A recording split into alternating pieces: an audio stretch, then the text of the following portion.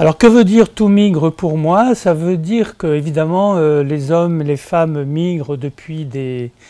siècles et des millénaires. L'humanité s'est formée euh, comme ça,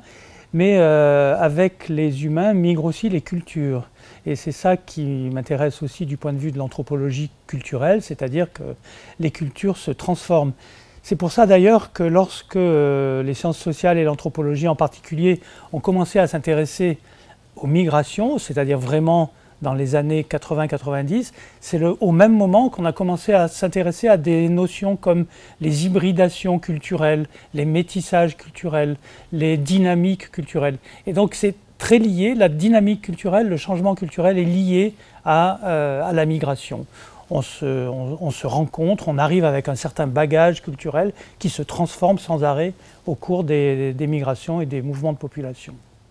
Alors je suis arrivé dans ce sujet euh, tout de suite, euh, très tôt, euh, dès que j'ai commencé à, mener mes, recherches en, anthropologie, puisque j'ai commencé avec de l'anthropologie urbaine. Je me suis intéressé à un, quartier d'étrangers dans la ville de Lomé, c'était mon sujet de thèse,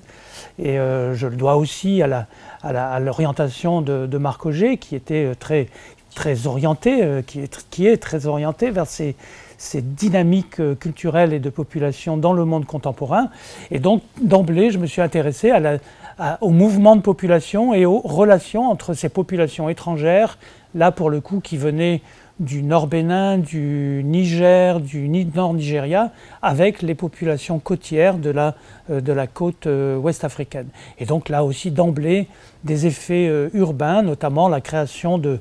très anciens campements devenus des quartiers. Et donc finalement, pendant des années, je me suis retrouvé un petit peu avec cette euh, question où les, étrangers arrivent dans les villes par les bords et ils finissent par transformer les villes elles-mêmes.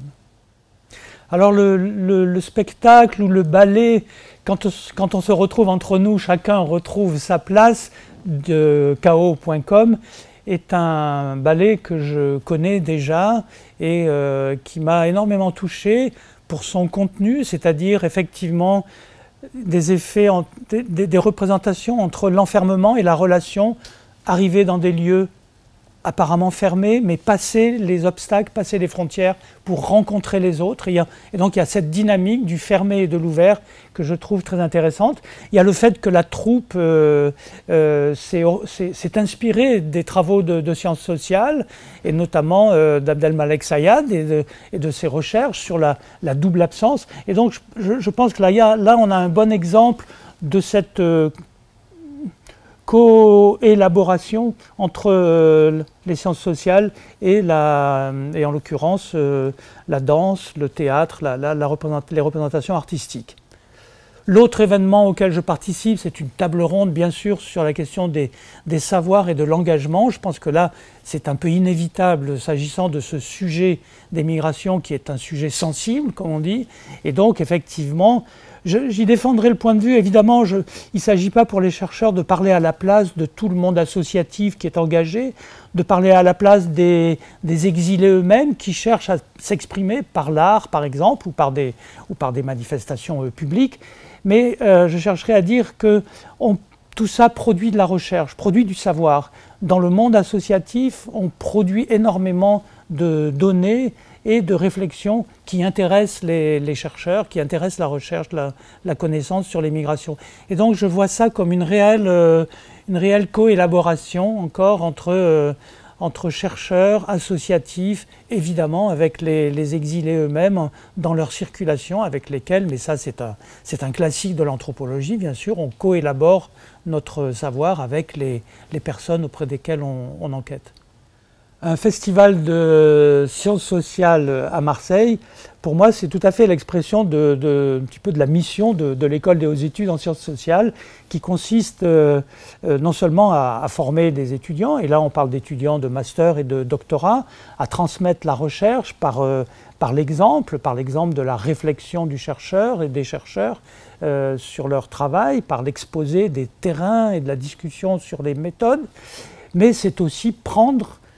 une place dans l'espace public, tenir une parole de vérité ou une parole de savoir euh, dans euh, l'espace public, d'autant plus aujourd'hui où les médias sont un peu euh, surdéterminés par le bruit permanent des, réseaux sociaux, comme on dit, qui font beaucoup plus de bruit que la réalité qu'ils représentent. Et donc, on a, on, a, on a, une mission particulière à, faire entendre euh, la voix du savoir des sciences sociales avec ses formes d'engagement, euh, parfois même ses formes de recommandation ou ses, indignations euh, lorsque des choses se passent qui nous semblent graves, qui nous semblent dangereuses pour la société ou des choses qui nous, viennent à partir de, nos, terrains et qui nous, poussent à, partir de ce que nous voyons, à partir de ce que nous enquêtons, qui nous poussent à prendre la parole, à vouloir prendre la parole pour faire entendre un certain nombre de faits et de connaissances et d'analyses, d'interprétations qui nous semblent plus justes que celles qu'on entend dans ce bruit permanent de, très influencé donc par, euh, par, euh,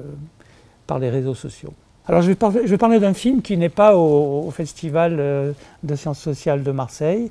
mais qui m'a inspiré, notamment pour un ouvrage, L'étranger qui vient, sur le thème de l'hospitalité. Euh, c'est le, film America America d'Elia Kazan, qui en fait raconte l'histoire de son oncle,